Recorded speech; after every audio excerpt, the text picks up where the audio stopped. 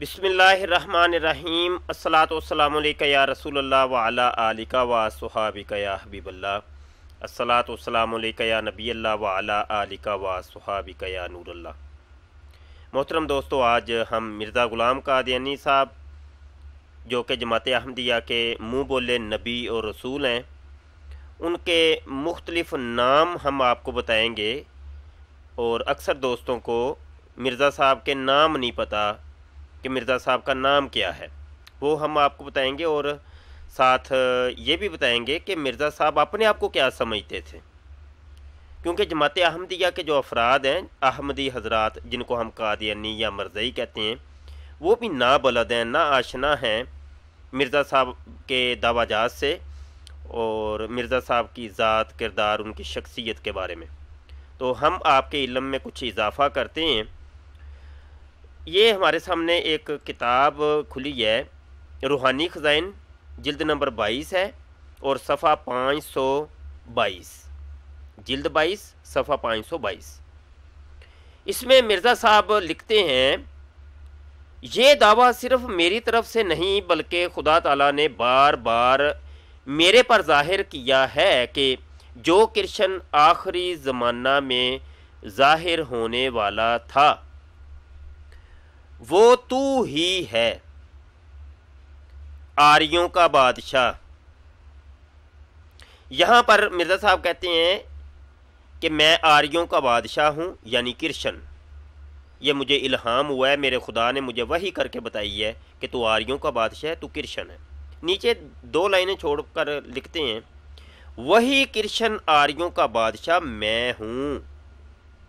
اتنی وضاحت کے بعد کم از کم ایک بات تو پتہ چلی کہ مرزا صاحب کرشن بھی ہیں اور آریوں کے بادشاہ بھی ہیں۔ احمدی حضرات مرزا صاحب کو کرشن کہتے ہوئے آج تک سنائی نہیں دیے گئے۔ آج تک ہم نے نہیں سنا کہ کسی بھی قادیانی مرزئی احمدی نے مرزا صاحب کو آریوں کا بادشاہ کہا ہو یا کرشن کہا ہو۔ حالانکہ کہنا تو چاہیے، کیونکہ مرزا صاحب نے خود اپنے آپ کو جب کہا ہے کہ میں آریوں کا بادشاہ ہوں میں کرشن ہوں۔ تو یہ کیسی بات ہے کہ آپ مرزا صاحب کو تو مانتے ہیں، لیکن مرزا صاحب کی ایک نہیں مانتے۔ تو آپ کو کہنا چاہیے، اور باقاعدہ طور پہ آپ کو لکھنا بھی چاہیے کہ مرزا صاحب آریوں کے بادشاہ ہیں اور کرشن ہیں۔ یہاں پر ایک اور حوالہ ہم آپ کو دیتے ہیں۔ مرزا صاحب کرشن ہونے کے متعلق ایک اور جگہ لکھتے ہیں۔ یہ روحانی خزین جلد نمبر بائیس، صفحہ پانچ سو اکیس کے اوپر۔ یہ نیچے کی دو تین لائنیں آپ دیکھیں تو آپ کو مل جائے گا۔ کہتے ہیں، چنانچہ جو ملک ہند میں کرشن نام ایک نبی گزرا ہے، جس کو رودر گوپال بھی کہتے ہیں۔ استغفر اللہ رودر گوپال بھی کہتے ہیں یعنی فنا کرنے والا اور پرورش کرنے والا۔ اس کا نام بھی مجھے دیا گیا ہے۔ پس جیسا کہ آریا قوم کے لوگ کرشن کے ظہور کا ان دنوں میں انتظار کرتے ہیں، وہ کرشن میں ہی ہوں۔ مرزا صاحب نے یہاں بھی وضاحت کر دی کہ میں کرشن ہی ہوں، جس کا یہ ہندو لوگ انتظار کر رہے ہیں۔ یہ کرشن اصل میں ہندو اس کی پوجا کرتے ہیں اور وہ ایک بچے کی تصویر ہوتی ہے، جس نے ہاتھ میں ایک وہ پکڑی ہوتی ہے، واجہ بین نما ایک چیز پکڑی ہوتی ہے، سرنگی سی پکڑی ہوتی ہے، وہ بجا رہا ہوتا ہے۔ تو اس کے سر کے اوپر بھی پگڑی انہوں نے باندھی ہوتی ہے۔ تو اس کی وہ پوجا کر رہے ہوتے ہیں۔ تو وہ کرشن ہے اور ہندوؤں کا یہ خدا ہے۔ مرزا صاحب کہتے ہیں وہ میں ہوں اصل میں۔ آریوں کا بادشاہ بھی میں ہوں۔ یہ دو چیزیں سننے کے بعد آئیے۔ اب مرزا صاحب کہتے ہیں میں رودر گوپال بھی ہوں۔ رودر گوپال یہ بھی کرشن کی طرح ہی کچھ ہے ہندوؤں کا۔ تو مرزا صاحب کہتے ہیں وہ بھی میں ہی ہوں۔ روحانی خزائن جلد نمبر بیس ہے، صفحہ دو سو انتیس کے اوپر۔ مرزا صاحب کہتے ہیں، مجھے الہام ہوا تھا کہ کرشن رودر گوپال تیری مہما گیتا میں لکھی گئی ہے۔ مرزا جی کہتے ہیں کہ مجھے یہ وہی نازل ہوئی ہے، مجھے الہام ہوا ہے کہ کرشن گوپال کرشن رودر گوپال تیری مہما گیتا میں لکھی گئی ہے۔ تو وہ واضح کرتے ہیں کہ میرے اوپر یہ وہی نازل ہوئی ہے۔ نیچے دو تین لائنیں چھوڑ کے لکھتے ہیں۔ پس گویا روحانیت کی روح سے کرشن اور مسیح مود ایک ہی ہے۔ اب وہ خود واضح کرتے ہیں کہ مسیح مود اور کرشن ایک ہی چیز ہے۔ اب یہاں سوال یہ پیدا ہوتا ہے کہ مرزا صاحب خود کہتے ہیں کہ مسیح مود اور کرشن ایک ہی چیز ہے۔ لیکن آج تک ہم نے کسی بھی قادیانی مرزئی کو، احمدی کو یہ کہتے نہیں سنا کہ مرزا صاحب کرشن بھی ہیں یا حضرت کرشن، مرزا غلام قادیانی یہ کبھی نہیں ان سے کہتے سنا۔ ہاں مسیح مود کہتے ہیں۔ یہ سوال ہے ایک، اگر کسی احمدی کے پاس جواب ہو تو ضرور دیجیے گا کہ آپ مرزا صاحب خود کہتے ہیں کہ میں کرشن بھی کرشن اور مسیح مود ایک ہی چیز ہے۔ جب ایک چیز ہے تو آپ کیوں نہیں پھر تسلیم کرتے اور اپنے ٹی وی چینل کے اوپر یا ریڈیو کے اوپر یا دیگر اپنی کتابوں میں اس چیز کا اظہار کیوں نہیں کرتے؟ آگے لکھتے ہیں، صرف قومی اصطلاح میں تغیر ہے۔ اب میں بحیثیت کرشن ہونے کے آریہ صاحبوں کو ان کے چند غلطیوں پر تنبیہ کرتا ہوں۔ تو اب یہاں پہ ہندوؤں کے اوتار بھی بن گئے، مرزا صاحب اور کرشن بھی اپنے آپ کو کہتے ہیں، رودر گوپال بھی کہہ رہے ہیں، بلکہ انہوں نے تو واضح کر دیا کہتے ہیں، یہ مسیح مود اور کرشن ایک ہی چیز ہے۔ بھلے مسیح مود کہو، بھلے کرشن کہو۔ کیونکہ چیز ایک ہے جب، تو ان میں سے کوئی سا بھی ایک نام خاص کر لیا جائے، کوئی اس میں حرج نہیں ہے۔ چاہے رودر گوپال کہہ لو، کیونکہ رودر گوپال بھی خود مرزا صاحب کہتے ہیں، میں میں خود ہوں۔ تو آج تک ہم نے نہیں سنا کہ کسی مرزئی نے مرزا جی کو رودر گوپال کہا ہو۔ یہاں پر کچھ اور بھی سن لیں۔ یہ روحانی خزین جلد نمبر سترہ ہے، صفحہ تین سو سترہ کے اوپر۔ مرزا صاحب کہتے ہیں، تب اس مسیح پر رودر گوپال کا اسم صادق آ جائے گا۔ وہ جو مسیح، مرزا صاحب کہتے ہیں نا، میں مسیح مود ہوں۔ کہتے ہیں وہ مسیح مود اب نیچے رہ گیا، وہ درجہ نیچے رہ گیا۔ اب اس کے اوپر ایک اور نام چڑھ گیا، ایک اور وصف اس کے اوپر آ گیا۔ وہ کون سا تھا؟ رودر گوپال کا۔ رودر گوپال کا اسم صادق آ جائے گا۔ مطلب یہ کہ اب تو رودر گوپال کہنا چاہیے مرزیوں کو، قادیانیوں کو، لیکن کوئی بھی نہیں کہتا، کیوں نہیں کہتا؟ یہ تو اب کوئی مرزئی مربی، قادیانی ہی بتا سکتے ہیں، کیوں نہیں کہتے بھائی آپ رودر گوپال؟ مرزا جی کو وہ خود کہتے ہیں کہ تب اس مسیح پر رودر گوپال کا اسم صادق آ جائے گا۔ اور میں جو وہی مسیح اور مظہر صفات مذکورہ ہوں، اس لیے کشفی طور پر ایک مرتبہ مجھے ایک شخص سے دکھایا گیا۔ گویا وہ سنسکرت کا ایک عالم آدمی ہے جو کرشن کا نہایت درجہ موتقد ہے۔ وہ میرے سامنے کھڑا ہوا اور مجھے مخاطب کر کے بولا کہ، ہے رودر گوپال، تیری استت گیتا میں لکھی ہے۔ اسی وقت میں نے سمجھا کہ تمام دنیا ایک رودر گوپال کا انتظار کر رہی ہے۔ کیا ہندو اور کیا مسلمان اور کیا عیسائی مگر اپنے اپنے لفظوں اور زبانوں میں۔ نیچے حاشیے کے اندر مزید وضاحت اس چیز کی کر دیتے ہیں۔ کہتے ہیں، واضح ہو کہ خدا تعالیٰ نے کشفی حالت میں بارہا مجھے اس بات پر اطلاع دی ہے کہ آریہ قوم میں کرشن نام ایک شخص جو گزرا ہے، وہ خدا کے برگزیدوں اور اپنی، اپنے وقت کے نبیوں میں سے تھا۔ اور ہندوؤں میں اوتار کا لفظ در حقیقت نبی کے ہم مانا ہے۔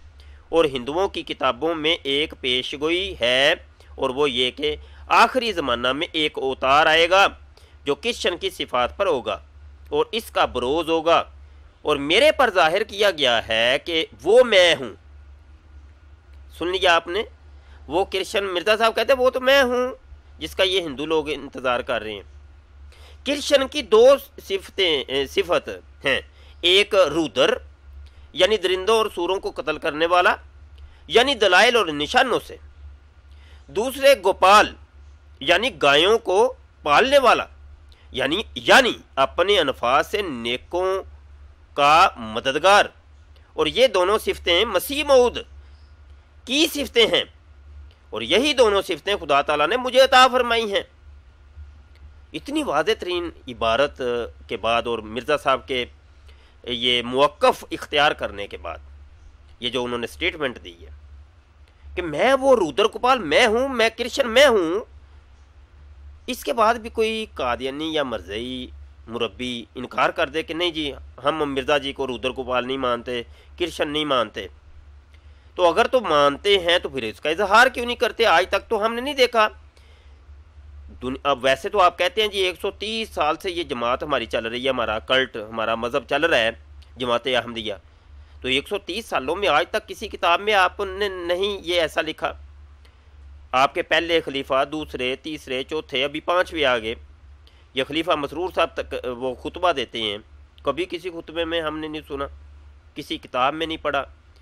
آپ کے ایم ٹی اے چینل کے اوپر، ریڈیو کے اوپر کہیں کبھی کوئی پتہ ہی نہیں ہے۔ اس کا مطلب یہ ہوا کہ احمدی حضرات مرزئی حضرات جو ہیں، وہ مرزا صاحب کی نہیں مانتے۔ مرزا صاحب کو تو مانتے ہیں، لیکن ان کی کہی ہوئی ایک نہیں مانتے۔ تو یہ بڑی غلط بات ہے۔ یہ تو پھر آپ نلائکی کرتے ہیں۔ یہ تو پھر آپ بڑی نلائک امت ہو گئے، پھر نلائک امت میں شمار ہو گئے۔ کہ آپ کے نبی نے کچھ اور کہا، امت کچھ اور کر رہی ہے۔ تو یہ غلط بات ہے، اس کے اوپر تھوڑا سا تفکر کریں سوچ و بچار کریں۔ آئیے جی مرزا صاحب اور بھی کچھ کہتے ہیں۔ تذکرہ کے صفحہ نمبر پانچ سو اڑسٹھ کے اوپر۔ یہ مرزا صاحب کو ایک وہی نازل ہوئی تھی، الہام ہوا تھا۔ مرزا صاحب کو یہ غالباً انیس سو چھ کی بات ہے، آٹھ ستمبر۔ ٹھیک ہے۔ کہتے ہیں، امین الملک یا امین الملک، جے سنگھ بہادر۔ یہ امین الملک کس کو پڑھنا ہے یا ملک پڑھنا ہے، یہ تو اب آپ نے فیصلہ کرنا ہے، کیا کہنا ہے آپ نے؟ تو یہ امین الملک صاحب ہیں جو جے سنگھ بہادر، یہ کون ہے یہ مرزا صاحب ہیں۔ مرزا صاحب کہتے ہیں، میرے اوپر وہی نازل ہوئی ہے کہ میرے خدا نے مجھے یہ نام دیا ہے۔ اب مرزا صاحب کے خدا نے ان کو جے سنگھ بہادر کہا ہے، لیکن افسوس، بہت افسوس ہے کہ آپ نہیں کہتے مرزا صاحب کو جے سنگھ بہادر۔ بہت افسوس ہے۔ اس کے اوپر بھی تھوڑا سا غور و خوض کریں۔ آئیے، کچھ اور بھی بتاتے ہیں آپ کو۔ مرزا صاحب، کیا اپنے آپ کو کہتے ہیں؟ یہاں تو بات ہی ختم کر دی ہے۔ روحانی خزین جلد نمبر بائیس، صفحہ سات سو اڑتیس کے اوپر۔ مرزا صاحب، ایک شاعر و شعر و شاعری بھی کیا کرتے تھے مرزا صاحب؟ یہ بھی شوق پورا کرتے تھے اور شاعری کا بھی شوق تھا مرزا صاحب کو۔ تو یہاں پر کہتے ہیں کرم خاکی ہوں میرے پیارے، نہ آدم زاد ہوں۔ کرم کہتے ہیں، کیڑے کو خاکی مٹی کو یعنی مٹی کا کیڑا۔ مرزا صاحب اپنے آپ اعلان کر رہے ہیں کہ میں کیا ہوں۔ میں کرم خاکی ہوں کرم خاکی، مٹی کا کیڑا ہوں۔ اور آگے تو اپنے انسان ہونے کی نفی کر رہے ہیں کہ میں انسان کا بچہ نہیں ہوں۔ میرے پیارے، نہ آدم زاد ہوں۔ میں آدم زادہ نہیں یعنی آدم کا بیٹا نہیں، انسان کا بیٹا نہیں، انسان کا بچہ نہیں۔ تو انسان کے بچے ہونے کی نفی کر رہے ہیں یہاں پر۔ وہ کہتے ہیں مجھے انسان نہ بولا جائے، میں انسان تھوڑی ہوں۔ میں تو ایک کرمے خاکی ہوں، میں مٹی کا کیڑا ہوں۔ اور یہاں پر یہ ساری باتیں سننے کے بعد کوئی قادیانی مربی صاحب آئیں گے، کہیں گے، یہ سب روحانی باتیں ہیں۔ یہ روحانی طور پہ تھے۔ بڑی عجیب سی بات نہیں ہے یہ کہ آپ نے ایک پنجابی میں کہتے ہیں وہ پولے جے منہ نال۔ پولے جے منہ نال تو گل ہی گوا چھڑی۔ سب کچھ مرزا صاحب روحانی ہے سب چیزیں روحانی ہیں جب جناب بنتے ہیں تو خدا بھی بن چک بن جاتے ہیں مرزا صاحب تو کہتے ہیں میں خدا بھی ہوں اور یہ روحانی خزین جلد نمبر تیرہ صفحہ ایک سو تین کے اوپر میں نے اپنے کشف میں دیکھا کہ میں خود خدا ہوں اور یقین کیا کہ وہی ہوں اس کے اوپر کافی لیکچر میرے ہو چکے ہیں اور مرزا صاحب اپنے آپ کو خدا کا بیٹا بھی کہتے ہیں خدا کی بیوی بھی کہتے ہیں پھر یہ بھی کہتے ہیں، میں نے پوری کائنات کو میں نے تخلیق کی ہے، انسانوں کو میں نے تخلیق کی ہے، وغیرہ وغیرہ۔ یہ پہلے آپ میرے لیکچر سن چکے ہیں۔ اب گزارا یہ ہے، ایک طرف خدا اتنا تفاخر پہ جب آتے ہیں مرزا صاحب، خدا بننے تک کا دعویٰ کر چک، دیتے ہیں۔ تفاخر، فخر، تکبر پہ آتے ہیں۔ اور جب آجزی پہ آتے ہیں، تو انسان کی جائے نفرت تک کی بننے کا دعویٰ کرتے ہیں۔ میں انسان کی جائے نفرت ہوں کرمے خاکی ہوں، میں انسان کا بچہ ہی نہیں ہوں۔ اتنا تفاخر اور اتنی آئزی۔ اس قسم کے اتار چڑھاؤ ہمیں کسی جگہ بھی نہیں ملتے۔ آپ تو مرزا صاحب کو نبی مانتے ہیں۔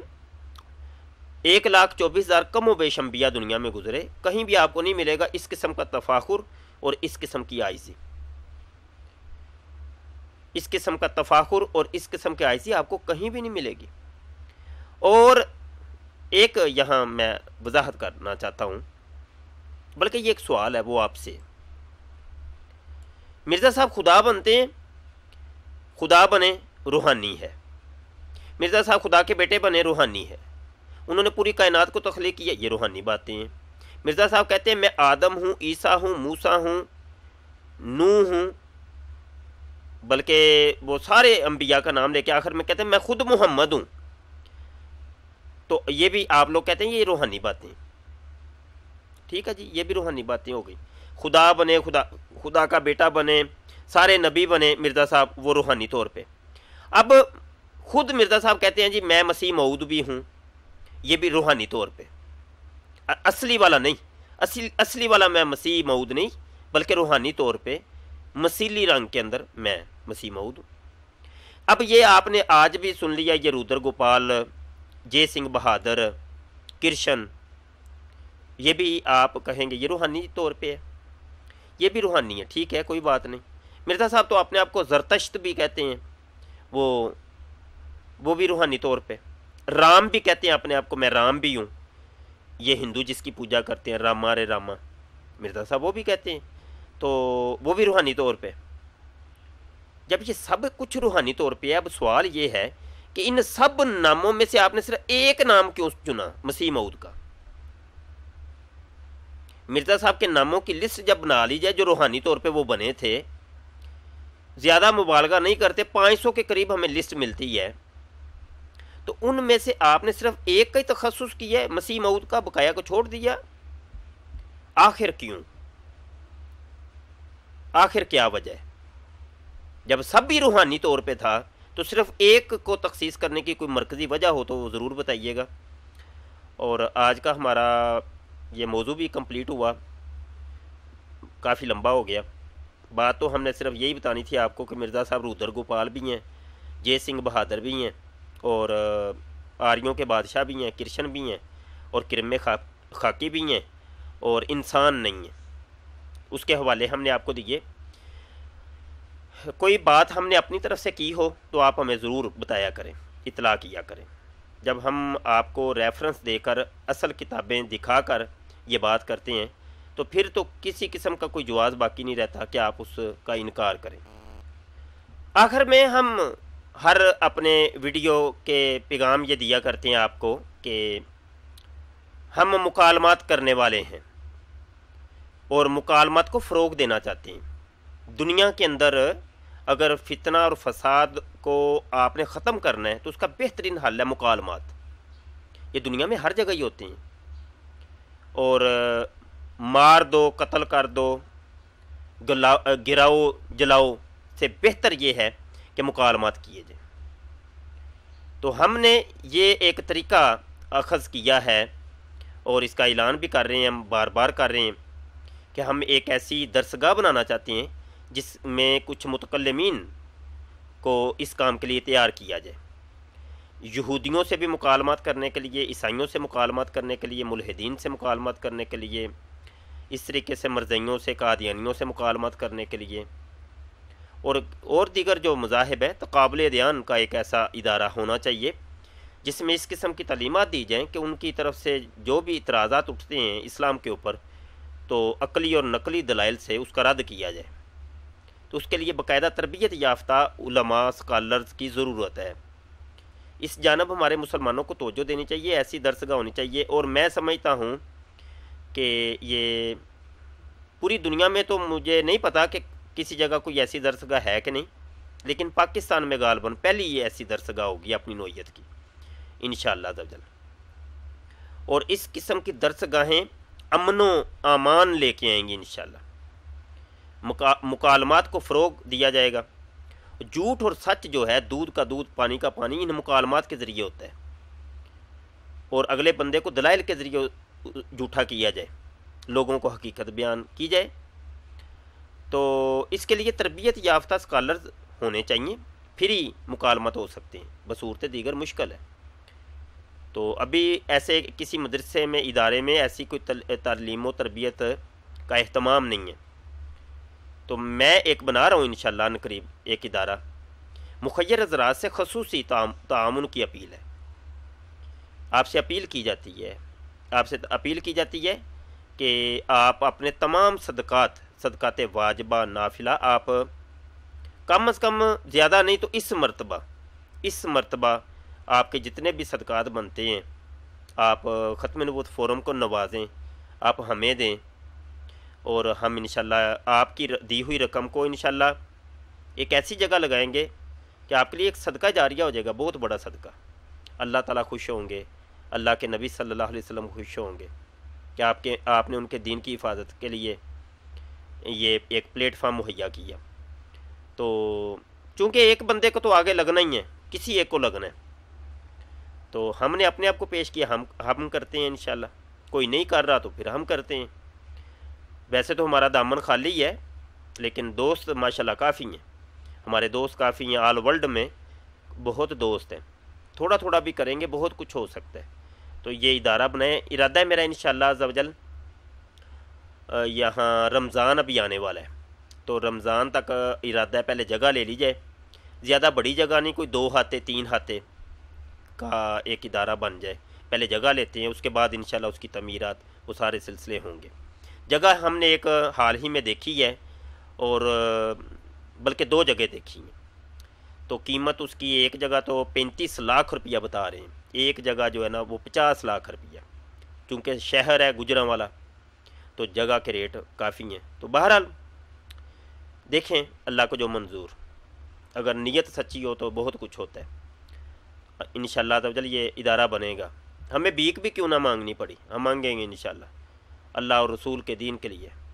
بھیک بھی کیوں نہ مانگنی پڑی۔ دامن ایسے پھلائیں گے، انشاءاللہ شاء اللہ تو یہ کام ہوگا حاسدوں کے حسد سے اللہ بچائے، شریروں کے اشار سے بچائے۔ یہ جب سے یہ ہم نے تقابل دیان کا یہ ایک اعلان کیا ہے، بہت سے کیڑے مکوڑے بھی سامنے آ گئے ہیں۔ بہت سے کیڑے مکوڑے۔ اور سب سے بڑے کیڑے مکوڑے تو وہ خود مرزئی اور قادیانی، کہ حالانکہ سب سے بڑی یہ چندہ کی تنظیم ان کی ہے۔ ہر بندہ ہی چندہ دیتا ہے۔ اور سب سے زیادہ تکلیف بھی ان کو ہو رہی ہے۔ اس کی وجہ یہ ہے، ان کو پتہ ہے کہ بس اگر یہ جامعہ بنتی ہے، ادارہ بنتا ہے، تو پھر تو کام خراب ہو جانا ہے۔ اپنی دعاؤں میں یاد رکھیے گا، ہم نے یہ آخری پیغام بڑا ہی ہو گیا ہے۔ خصوصی دعاؤں میں یاد رکھا کریں، ہر دم دعا کیا کریں۔ میں آپ کے لیے بھی دعا کرتا ہوں، جو بیرون ممالک ہمارے ساتھی ہیں، دوست ہیں، دعاؤں کے لیے بڑا کہتے ہیں۔ اللہ ہر ایک کے اوپر اپنا فضل کرے، کرم کرے۔ پیر میرے لشار رحمۃ اللہ علیہ فرماتے تھے، جو ختم نبوت کا کام کرتا ہے، اس کی پشت کے پیچھے میرے آقا کا ہاتھ ہوتا ہے۔ ختم نبوت کا کام کریں یار، دیکھیں کیسے مزے ہوتے ہیں، کیسے مزے ہوتے ہیں۔ دین دنیا میں مزے آئیں گے، بہت لطف آئے گا، روحانیت میسر آئے گی انشاءاللہ۔ عشق رسول ملے گا انشاءاللہ۔ ختم نبوت کا کام کریں۔ آقا کریم صلی اللہ علیہ وسلم کی ناموس کی حفاظت کا کام کریں بہت لطف آئے گا انشاءاللہ۔ دعا میں یاد رکھیے گا مبشر شاہ کو۔ السلام علیکم ورحمۃ اللہ وبرکاتہ۔